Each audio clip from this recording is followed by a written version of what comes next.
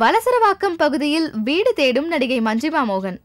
அச்சம் என்பது மடமையடா படத்தில் சிம்புவுக்கு ஜோடியாக நடித்த நடிகை மஞ்சிமா மோகன் தற்போது விக்ரம் பிரபுவுக்கு ஜோடியாக சத்ரியன் படத்தில் நடித்திருக்கிறார். இந்த படம் விரைவில் வெளியாக உள்ளது.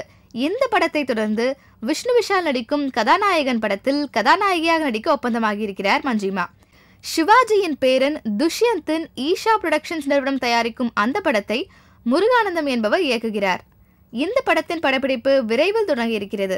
தொடர்ந்து பட வாய்ப்புகள் தமிழில் கிடைப்பதால் தமிழ்நாட்டில் தங்க முடிவு செய்திருக்கும் நடிகை மஞ்சிமா மோகன் தற்போது வலசரவாக்கம் பகுதியில் வீடு பார்த்து வருகிறாராம்.